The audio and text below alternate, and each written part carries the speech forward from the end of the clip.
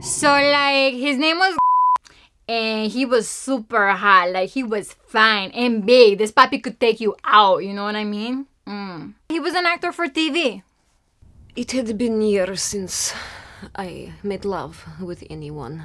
He told me I was fool for considering to wait two weeks. I did not like this, but I was starting to feel like a dried out apricot, so I decided to let it slide by, as they say. We have intercourse. He's a musician. It kind of looks like a skunk, but whatever. I was intrigued. Literally, on our first date, he tells me that he's not only an alcoholic, but he's also a sex addict, and that his therapist told him that we couldn't sleep together for three months. I mean, that's a lot to handle. We get coffee. Totally hit it off. He offers to make me dinner back at his place. I say fine. I mean, I saw the kid's Instagram. He's got a legit six pack. What ha- happened was, he tells me how much he paid for his condo 550k. Y porque I didn't say nothing, he looks at me, dumb face, and he goes, K means a thousand. Like I didn't know that. How long must this last to be considered sex? It was perhaps two minutes when he make groan sound like like a dying goat, rolls over and complains that was like doing 10 minute push up. Weakling. 11 weeks later, he's like, okay, time's almost up. Like, you need to go on birth control. And I'm like, um, hold up. Wait, what? I specifically only buy organic. Do you really think that I'm gonna pump myself full of hormones every day? No.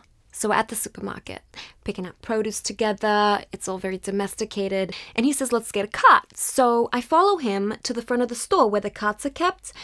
Except he keeps walking with all our items just right out through the front doors into the parking lot to his car. He's stealing all the food. I let him kiss me porque I hadn't kissed anybody in a minute. But then he grabs my thigh and he tells me he's got a big dick. Mm. And that the, the bar we're at is connected to his condo. Like, I don't get it, bro. You live at the mall? Second time we make love. Again, his penis is not very strong. I grow very bored. Um, spend time thinking about expired visa situation when abruptly he stops again. He tells me my facial expressions distract him. Never have I heard such thing. Very poor stamina. And I'm like, um, no, you can use condoms. And he's like, no, you can do the rhythm method. And I'm like, uh, what? Like 40, no. Okay, no. Do you want to be my baby daddy like tomorrow? Because my gynecologist says I have a beautiful cervix and that I'm highly fertile. And he said yes. So we get back to his place. He tells me the lines were just too long. He didn't feel like waiting. Whatever. So we start making out. It's getting hot and heavy. I'm about to give in and this guy. So, you know, I put on the brakes, tell him very kindly, it's time I gotta get going. Kid bursts into tears. Literally, I'm talking like a full on meltdown. By now, he knows he's not going to get it, but he's on the ground, on his knees, begging me to go upstairs with him. Homie turns off super quick. I should have known better than trust men who wear skinny jeans. We broke up literally four days before the three month mark. I don't regret it.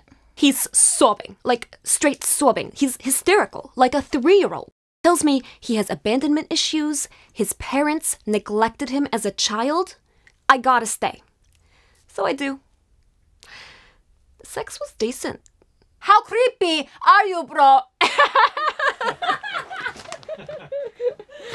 Ay.